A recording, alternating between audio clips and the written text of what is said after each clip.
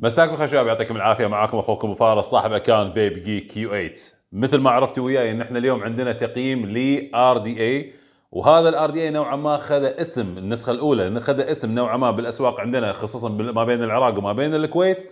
لكن الحلو اليوم إن إحنا راح نقدم النسخة الثانية للمتابعين الجدد اللي هم صار لهم فترة طويلة قاعد يشوفون أجهزة ال pod وأجهزة ال pod mods وتحديدا أجهزة ال pods وال disposable لكن نغير لهم شوي علشان يشوفون بعض المتع اللي إحنا كنا نستمتعها بال old schools أو الأيام قبل لما كانت هذه النوعية من المنتجات كانت تنزل بكثرة وكان في تنافس جدا كبير ما بين الشركات لتقديم هالنوعية من المنتجات.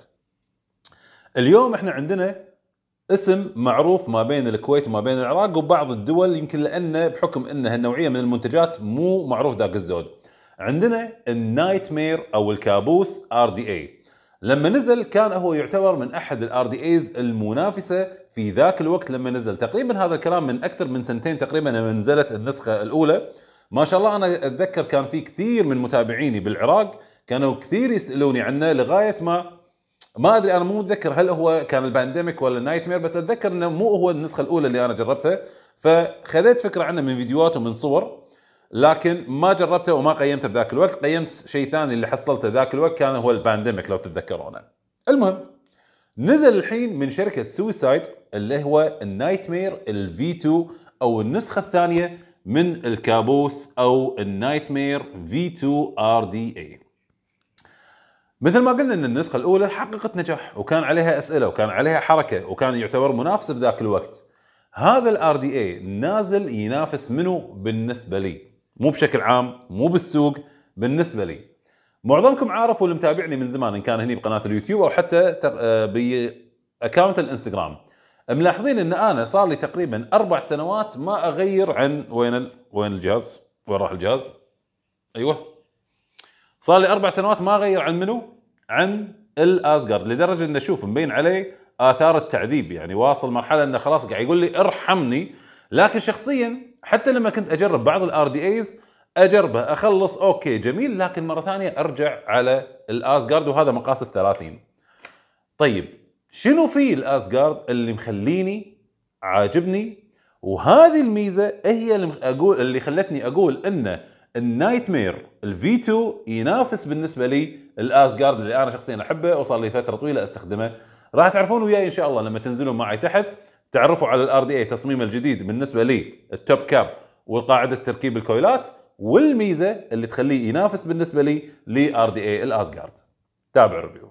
ويلا شباب خلونا الحين نتعرف بالتفصيل على ال Nightmare RDA V2 اللي جاي لنا من شركة ال Suicide خلونا نتعرف عليه على السريع ونشوف شنو الجديد اللي مقدمينه في هذا ال RDA في البداية هني يبين معنا دليل الاستخدام الخاص في ال RDA وبعدين يبين معنا هذا الكيس اللي فيه بعض الأمور اللي ممكن نستخدمها مع ال RDA ما بين عندنا ال screws عندنا ال screws spare وعندنا هذا اللي هو ال screw الخاص لاستخدام ال RDA مع أجهزة ال squonk Allen key و O-ring ات spare وفي عندنا drip tip مقاس مختلف الظاهر عن اللي براكب على ال RDA وراح نتأكد إن شاء الله بالنسبة ل design ه وحجمه.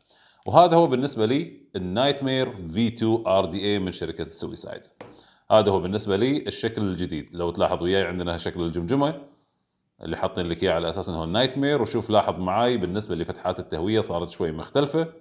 وبالنسبة لل design العلوي الخاص بال top cap وعندنا بالنسبة للمبسم مقاس ال 810 ومع فكرة شباب بالنسبة لهذا ال RDA هو مقاس ال 28 مو 28 أتوقع ممكن يكون ملائم إنه يركب على كثير من الأجهزة بالفترة الأخيرة. لكن اللي عنده بعض الأجهزة اللي يكون الطبقة العلوية تكون نوعا ما صغيرة ممكن يكون شوي كبير عليها لكن ال 28 نوعا ما مناسب. خلونا الحين اركبه على الجهاز عشان نشوف الأجزاء الداخلية لهذا ال RDA في البداية خلونا نتعرف الحين على ال top cap أو الغطاء العلوي لهذا ال RDA لاحظوا وياي بالنسبة للجزء الداخلي هذه القطعة أو هذه الطريقة إحنا شفناها من قبل مع ال Asgard اللي أنا شخصيا صار لي تقريبا أربع سنوات قاعد أستخدمه وأعتبره واحد من أفضل ال RDAs اللي نزلت بالفترة الأخيرة أو بالسنوات اللي فاتت بحكم طريقة تصميم هذه القطعة الداخلية اللي هي تعمل على توجيه التهوية بشكل جدا ممتاز وعلى أساسها اعطتني التجربة الجميلة اللي أنا حابها مع RDA ال Asgard اللي مخليني لغاية هذا الوقت لغاية هذا اليوم لغاية هذه اللحظة أنا ما أستخدم غيره وأتوقع ممكن بعضكم عارف اللي يتابعني من زمان. شايفني إن أنا صار لي فترة طويلة ما أستخدم غير ال Asgard خلونا نطلع بالنسبة لي المبسم أو ال drip tip عشان نشوف شلون طريقة أو تصميم هذه القطعة الداخلية أتوقع نفس طريقة التصميم مجرد ما يلف وياك تطلع معاك القطعة.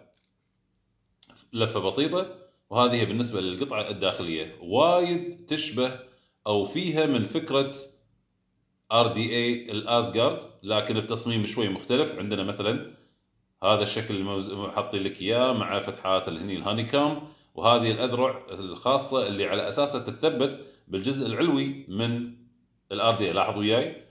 لاحظين هذه الأماكن الفتحات هذه الموجودة؟ هذه على أساسها تدخل هذه الأذرع وتثبت بمكانها. وايد حلوة الفكرة. يعني شوف على فكرة تقدر تستخدمها بهذه الطريقة لكن كبر المساحة الداخلية راح يصير عندك لعب بالتهوية فما راح يصير عندك تركيز على توجيه الهواء فراح يضيع معاك مستوى الطعم. لكن وجود هذه القطعة اللي مثل ما قلت لك إحنا استخدمناها وعرفناها وجربناها مع ال Asgard رفعت معانا مستوى تركيز التهوية على الكويلات فرفعت معنا مستوى التجربة والطعم بشكل جدا ممتاز. وعلى هالأساس سوتها شركة ال Suicide مع ال Nightmare اللي إن شاء الله راح نجربه ونشوف شلون راح يعطينا مستوى التهوية. تثبيته مجرد ما تلفه ويثبت راح تلاحظ إن الفتحات الخاصة في القطعة الداخلية راح تكون مقابل هذه الفتحات الخارجية وعلى أساسها أنت ممكن تغير من مستوى التهوية وقت تحريكك لل top cap لأن ال top cap already راح يكون ثابت مع وجود المبسم وعلى أساسه راح يتغير معاك مستوى التهوية. okay.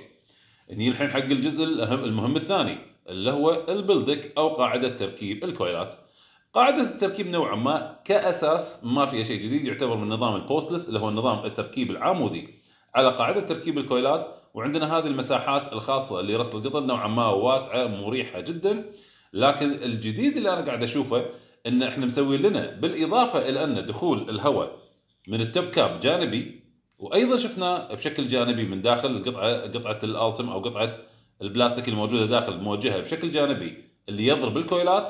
أيضا عندنا فتحات سفلية لمرور الهواء وتوجيهها من تحت الكويلات لفوق. حلوة الفكرة لكن نظريا أنا شخصيا أول ما شفت هذه الفكرة قلت إنه راح يكون في كمية تهوية كبيرة. هذه نظريا وراح إن شاء الله راح يبين ويانا وقت آه، الاستخدام. الحين خلونا نركب لنا كويلين ونشوف بالنسبة للمساحة الداخلية بعد استخدامنا لكويلات مقاس الثلاثة. أتوقع راح يكون المساحة جدا مو... آه، يعني مناسبة جدا. لكن شباب وقت التركيب لازم نعمل حساب إن إحنا عندنا قطعة مقللة أو مصغرة من مستوى التص... آه، المساحة الداخلية. فعلى هالأساس لازم نكون إحنا حاطين أو حاطين في بالنا أو منتبهين إن هذه الكويلات لازم تكون شوي متقاربة ونازلة علشان لا تكون متلاصقة مع هذا الجزء وعلى أساسها ممكن يكون يوصل حرارة أو حتى ممكن يذوب هذه القطعة لأنه راح يكون قريب منه فخلونا الحين نركب لنا كويلين ونشوف النتيجة مع بعض. ركبنا كويلات شباب وضبطنا بالنسبة للارتفاعات. في نصيحة لكم في حال إذا كنتم حابين تأخذون هذا ال RDA ومثل ما قلت لكم إن إحنا حابين إن إحنا نركب هذا ال RDA ويكون بعيد عن الأجزاء الداخلية من ال cap. ف افضل طريقة علشان أكون ضامن إن الكويلات ما تكون قريبة من الأطراف الداخلية من هذا ال cap. لاحظوا وياي شايفين هذه الخطوط أو هذه الحواف اللي موجودة؟ حاولوا إن طرف ال coil ما تتجاوز هذه الحواف أو الخطوط البيضاء اللي أنت قاعد تشوفها وياي. فهني أنت تكون أمورك بالسليم مقاسه أو مكانه أو ال position ماله راح يكون جدا ممتاز وبعيد عن هذه الأماكن وراح يكون عندك الأداء جدا ممتاز.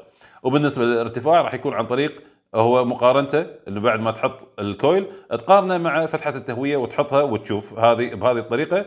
إنك تلاحظ إن تقريبا التهوية ماخذة من النص التحتاني من ال coil فهني راح يكون عندك جدا ممتاز بالنسبة للارتفاع. الحين كل اللي علينا إن إحنا بس راح نسخن الكويلات ونشيل النقاط الحرارية ونضبط القطن ونشوف النتيجة النهائية مع بعض. تم رص القطن للأمانة التعامل معه جدا سهل ما في أي شيء يعني معقد. هو بالفعل عندنا الحين تجربة جديدة على مستوى فتحات التهوية هذه اللي عندنا الجانبية السفلية بالإضافة إلى تجربة هذه القطعة مع ال Nightmare بتصميمها المختلف شوي عن ال Asgard فراح نشوف الحين ال Nightmare V 2 شنو ممكن يعطينا من تجربة على مستوى الطعم وعلى مستوى التهوية. كل اللي علينا الحين بس نظل إن إحنا بس ننقع القطن ونتأكد إنه هو متشرب 100% وتقريبا كذي نكون خالصين. وشغلة أخيرة بغيت أوريكم بالنسبة مقارنه بالنسبة للمبسم ال spare اللي كان موجود معنا بالعلبة مع المبسم اللي راكب على ال RDA راح تلاحظون إن في فرق بينهم إنه هو إن هذا low profile أو نوعا ما قصير اللي هو من ناحيه اللي هو المبسم أو الجزء العلوي من المبسم وهذا شوي أكبر منه حق اللي يفضل إنه يكون طول المبسم يكون شوي أطول. أنا شخصيا أحب إن المبسم يكون شوي طويل بعيد عن إن شفايف ما ما تلامس الجزء العلوي من ال top cap أو ال cap أو الغطاء العلوي من ال RDA فأنا شخصيا أفضله إنه يكون شوي في طول.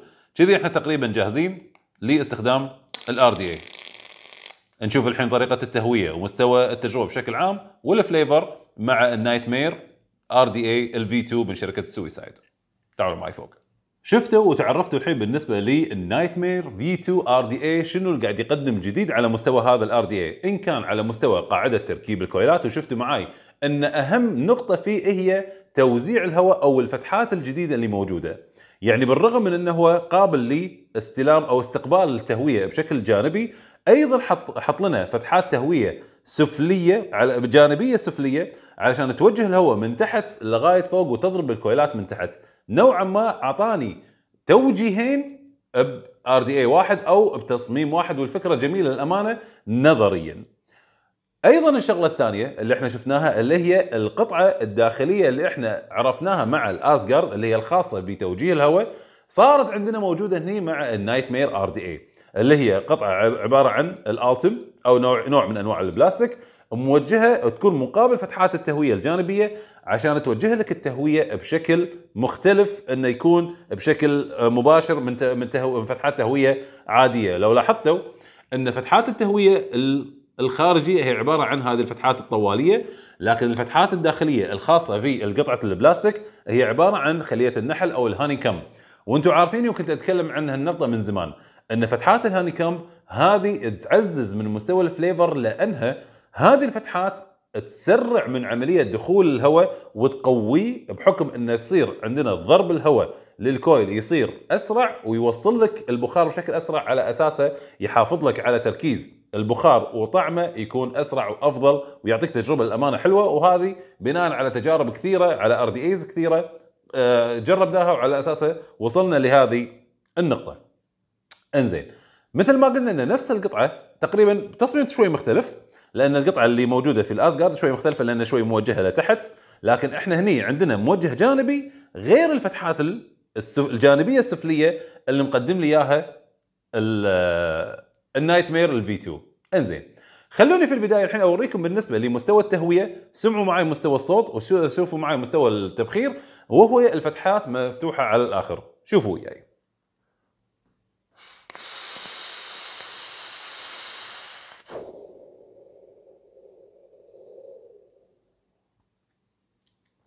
عندي نقطة شوفوا هذه الشغلة ما راح يعرفها إلا اللي مجرب ال Asgard اللي هي شنو؟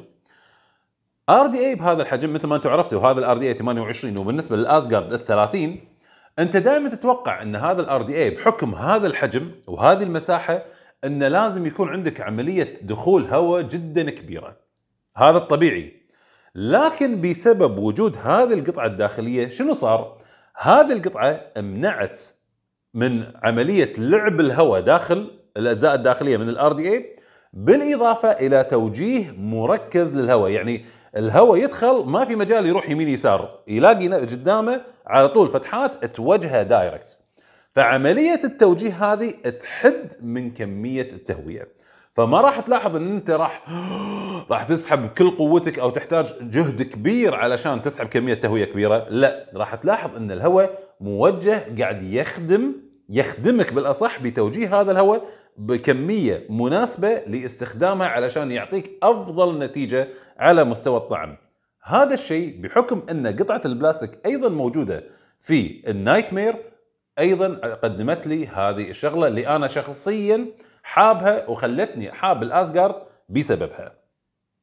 فلهذا السبب لأول أول معلومة أقول لها أقول لكم إياها إن عملية توجيه الهواء معطتني كمية تهوية مناسبة جدا لاستخلاص أفضل مستوى طعم.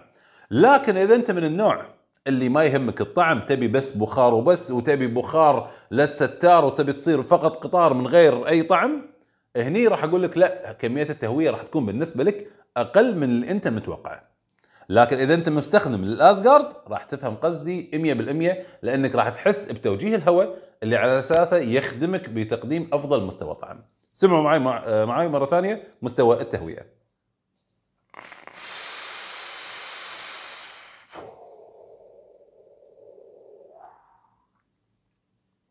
flavor flavor flavor من اليوم لبكره أكثر RDA بالنسبة لي راح يخليني نوعا ما أغير رأيي أو ممكن ممكن أغير لل Asgard تدرون شنو الشيء الوحيد اللي راح يمنعني أغير ال Asgard هو شغلة واحدة بس. إن مقاسه 28 ولما أركبه على هذه القطعة اللي أنا شخصيا ما أستغنى عنها اللي هي ال bumper لأنه راح يكون شكله غلط. لأنه هو مقاس هذه 30 وال Asgard مقاسه 30 فصار عندي ماتش. لكن لأن مقاسه هذا 28 راح يكون الشكل نوعا ما مو الشكل المضبوط اللي أنت حابه. لكن إذا أنا بس بستخدمه مثلا على tube مثل ب tube mechanic مثل ما أنت شايف هني أو مثلا أحطه على جهاز regulated بطاريتين وحاب حابه أو على جهاز squonk راح يطلع من أروع ال RDAs اللي أنا ممكن أستخدمها. يعني أنا ممكن ثواني خل أرجع لكم جتني فكرة الحين بوريكم إياها. يعني مثلا أنا عندي جهاز ال Topside squonk بطاريتين واحد من أعظم أجهزة ال squonk اللي نزلت في تاريخ الفيب. على هالأساس أنا ممكن أستخدم هذا الجهاز مع ال Nightmare ويكون جهازي الثاني بحكم ان أنا أفضل ال squonk. ولا تنسون إن ال RDA بالعلبة مع ال pin الخاص لاستخدامه على أجهزة ال squonk. فشنو صار وياي؟ أنا ممكن الحين أستخدم جهاز. صحيح إنه راح يكون شكله أكبر لكن صار عندي خيار ثاني لإستخدام هذا ال RDA على جهاز squonk بالطريقة اللي أنا أحبها من غير ما يضايقني حجم أو شكل ال RDA هذا هو بالنسبة لي تصميم. هذا واحد من الأجهزة اللي أنا فعلا استخدمتها لفترات طويلة جدا. أنا أحب أفضل ال RDA على ال RTA أو ال RDTA وهو يعتبر RDA على ال RTA بحكم الطعم ومباشرة أو وصول البخار أو تجربة ال RDA بشكل أفضل من ال RTA فكنت أستخدم أجهزة ال squonk وأفضلها لاستخدامي على هالنوعية من التانكات أو الاتومايزرات فهذا واحد من الأجهزة اللي أنا استخدمتها فترات طويلة جدا آه، السنوات الماضية لكن مع استخداماتنا لأجهزة معينة لتانكات معينة بعدين يا لنا الار دي تي اي شخصيا أنا كنت أستخدم هذا هو فارس RDTA أيضا استخدمته لفترة طويلة. وعلى فكرة فارس RDTA كان راكب على هذا الجهاز. يعني هو RDTA وكنت أعبيه لأن هذا هذا ال RDTA أيضا squonkable فكنت أحطهم أحطهم مع بعض وكنت أستخدمهم. وهذول ظلوا معي فترة طويلة وإذا كانوا في عندي متابعين قدامى راح يذكرون هذا الكلام. ف أنا قاعد أشوف استخدام هذا ال RDA قاعد يقدم مستوى flavor مستوى تجربة مستوى طعم من أروع ما يكون لاستخدامه بشكل يعني على ال squonk أو حتى على tube tube mechanic أو حتى على أي طريقة أنت تفضلها. لكن أنا قاعد أتكلم عن ذوقي الشخصي اللي هو استخدام ال RDAs على أجهزة ال squonk عشان ترى يعني ترحمك من سالفة التقطير اللي كل شوي راح يقدم لك مستوى طعم مستوى تجربة جدا ممتاز لدرجة إنه قاعد أشوفه منافس كبير جدا ل RDA ال Asgard اللي أنا شخصيا ما أستغنى عنه لدرجة إن أنا عندي واحد ثاني spare لغاية ما هذا يموت وأستخدم اللي بعده إن شاء الله. نعطيها بعد وحدة. أوكي أوكي طلعت طلعت هذه بعيدة. أوكي الميكروفون طلع بعيد. يلا مو مشكلة. نعطيها سحبة.